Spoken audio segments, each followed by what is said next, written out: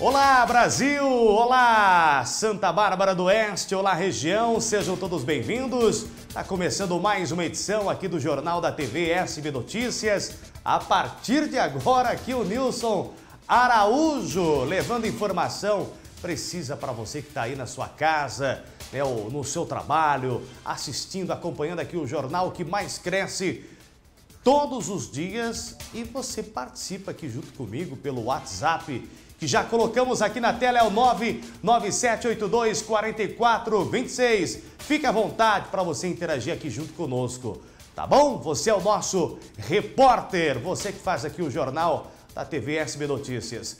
Vamos lá, você vai se inscrevendo também aqui no canal. Se inscreva no canal da TV SB Notícias, clique aí no gostei e ative o sininho para que a gente possa avisar você todas as vezes que nós entrar, entrarmos no ar. Tá certo? Agradecer aqui o Josué Silva na edição, direção aqui do Jornal da TV SB Notícias. E eu começo falando, é, lembra daquela denúncia sobre os problemas de acessibilidade na Escola Estadual José Gabriel de Oliveira? Pois é, minha gente, olha, ela foi acatada pelo Ministério Público do Estado de São Paulo, um TAC, que é o termo de ajustamento de conduta, foi firmado junto à Secretaria Estadual referente a essa adequação né, desta e de outras cinco unidades escolares e a medida deverá ser providenciada em até 2022. Além da, da, da Escola Estadual Gabriel, outras eh, cinco escolas estaduais também vão ter melhorias aí na acessibilidade, tá bom? Então tá aí, foi acatada pelo Ministério, então a gente agora aguarda, né? Vamos estar tá de olho aí nessa situação na, na, nas escolas estaduais aqui em Santa Bárbara do Oeste. Bom, vamos agora com prestação de serviço, é isso? O, o Recreio Alvorada, Chácaras Recreio Alvorada.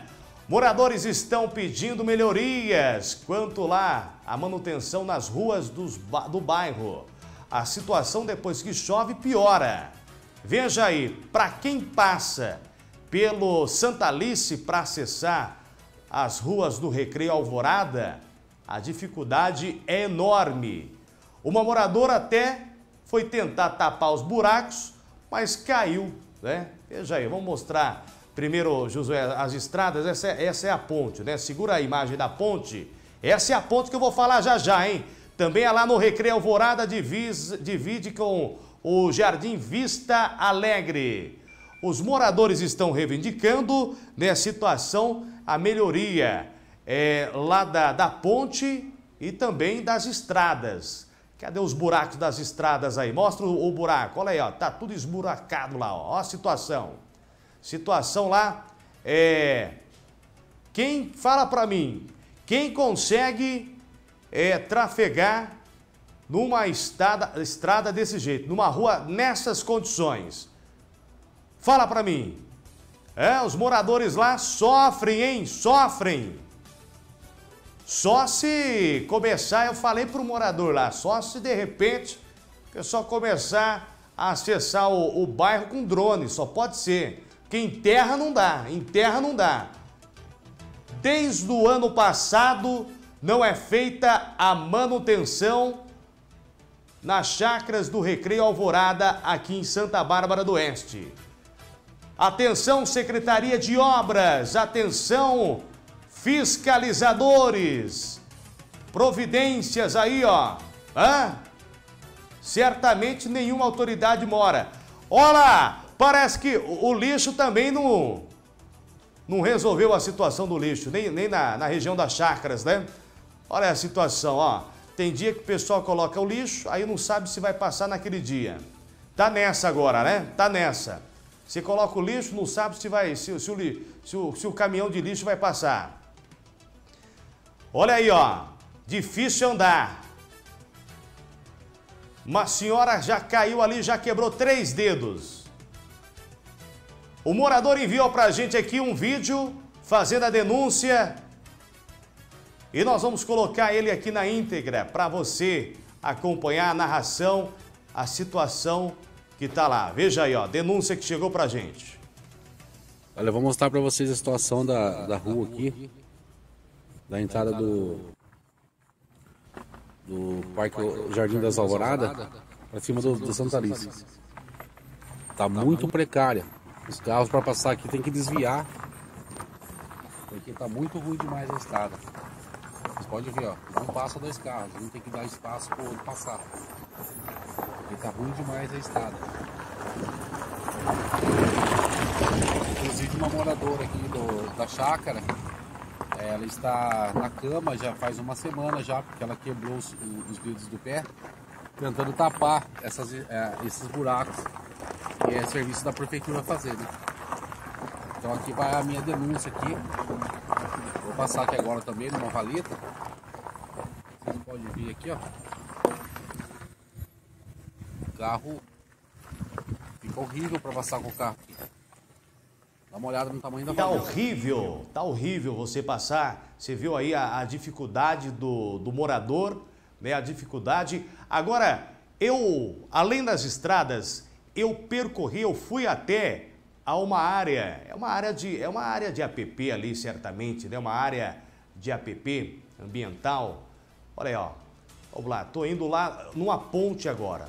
É uma ponte que também é reclamação Aonde ninguém mostra, o nosso programa mostra. Olha onde que me enfiaram, eu fui lá no meio do mato. Você vai, vou mostrar a situação. Esse trajeto aí, onde muitas donas de casa, é, crianças que vão à escola, pessoas que vão aí na padaria, vão na farmácia. Olha só, vamos lá, estamos caminhando ali, ó, né? Estamos caminhando para chegar na ponte que é alvo de reclamação também. Essa ponte está escondida, mas nós encontramos. Vamos lá, estamos chegando. Olha a situação disso, olha o perigo. E fez lembrar lá a ponte do Vale, né? Lá do Caiubi. Agora mais um problema aí para a prefeitura resolver. Olha, intransitável, não tem condições. Essa ponte é o perigo. Gente, pode cair é, é, é uma, uma mãe ou uma criança que, que, que passe ali, olha o rio embaixo, é? esse córrego. É o perigo para quem passa, essa ponte vem do Vista Alegre para acessar o, as chacras Recreio Alvorada e também Recreio Alvoradas Vista Alegre. Olha a situação disso. É? Sem estrutura nenhuma. Será que a prefeitura não está vendo essa. Deram uma resposta lá para os moradores já? Não. Já foi protocolado aí para que essa ponte seja feita aí a manutenção dela. Aí, tá vendo? Nós encontramos, né? Andamos lá no meio do mato encontramos. O que, que é? Pensaram que esconder aqui do Nilson Araújo? É, a gente encontra e a gente cobra. Volta para mim. Atenção, Prefeitura de Santa Bárbara do Oeste, pelo amor de Deus. Olha aí a, a, a condição daquela ponte, tá inadmissível, inadmissível. A condição das estradas lá, das ruas do Recreio Alvorada pedindo socorro. Olha a entrada do bairro como é que tá. Queijo suíço, você sai de um buraco, desvia de um, cai no outro, né? Tem que dar, tem que fazer manutenção, né, gente? Tem que fazer manutenção. Olha, uma preocupação agora é aqui na área central da cidade, hoje pela manhã, por volta das 9h10 da manhã. Veja aí a, o flagrante que a nossa equipe é, fez hoje pela manhã. É Rua 13, isso, Rua 13 de maio, com a Rua Dona Margarida. Imagens agora que a gente tem da retirada de é, árvores aqui no centro da cidade, a extração dessas árvores por que, que elas estariam sendo retiradas? É próximo à agência dos Correios.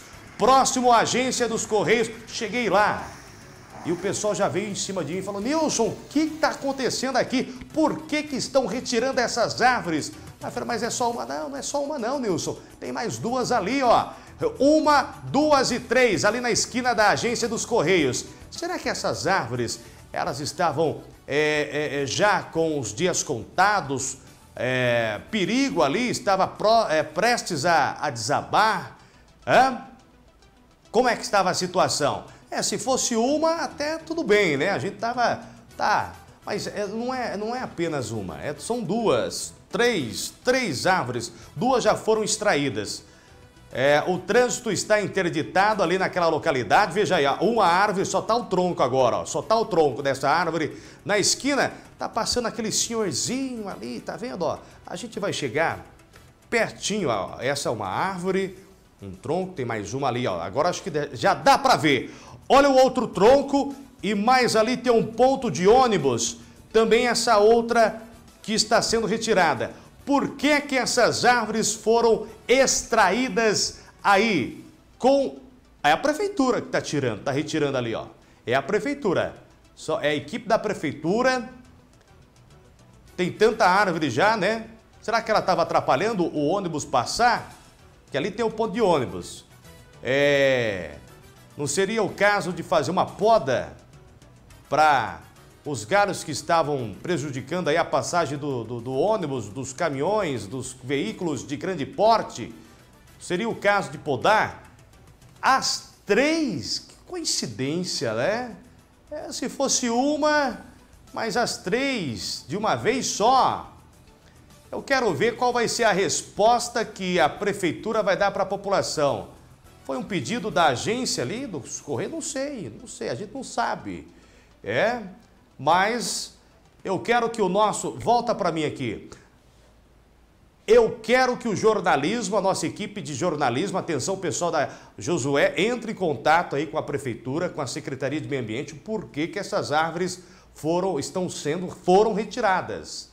Foram retiradas ali da rua é, 13 de maio com a Dona Margarida. Né? São três árvores, não estamos falando de apenas uma. Tá, gente? Não estou bravo aqui com ninguém, só quero saber a resposta, o porquê. Porque de, quando o morador ele tira, né, ele tira é, é, uma árvore é, da, da frente da sua casa, ele é multado. Agora, o porquê que essas estão sendo retiradas ali da, do lado do correio? Tá? Então a gente pede aí para que a nossa produção entre em contato com a prefeitura para que a gente volte aqui com uma resposta é, para o nosso povo que está assistindo, está acompanhando aqui o jornal da TV SB Notícias. Viu? Nós, tamo, nós estamos nas ruas, nós estamos de olho. O meu trabalho aqui não é passar a mão na cabeça de ninguém. O meu trabalho aqui é defender o povo, né? é ouvir a população, é, não é verdade? Eu não estou aqui para passar mel na boca de ninguém, não, viu? Eu estou aqui para defender o nosso povo, a nossa gente. O microfone do Jornal da TV SB Notícias sempre aberto aqui para a população barbarense. Ok? Bom, tem o um pessoal que está interagindo junto com a gente aí. Um abraço ao Luiz, lá do bairro Conjunto Romano. Um forte abraço para vocês aí. Alô, Luiz. Valeu pela, pela sintonia. O pessoal que está aí na, assistindo o nosso programa. Um abraço também a Anitta, lá no Jardim Pérola. Um abraço para você, viu, Anitta? Obrigado pelo carinho de vocês aí também. Quem mais aqui, ó? A Maria Lúcia, ali do Sartori. Um abraço, Maria Lúcia. Tem uma situação lá no Sartori que a gente vai mostrar amanhã aqui no Jornal da TV SB Notícias. Ô Josué, volta para mim as imagens lá do daquela ponte, é isso? Isso, perfeito.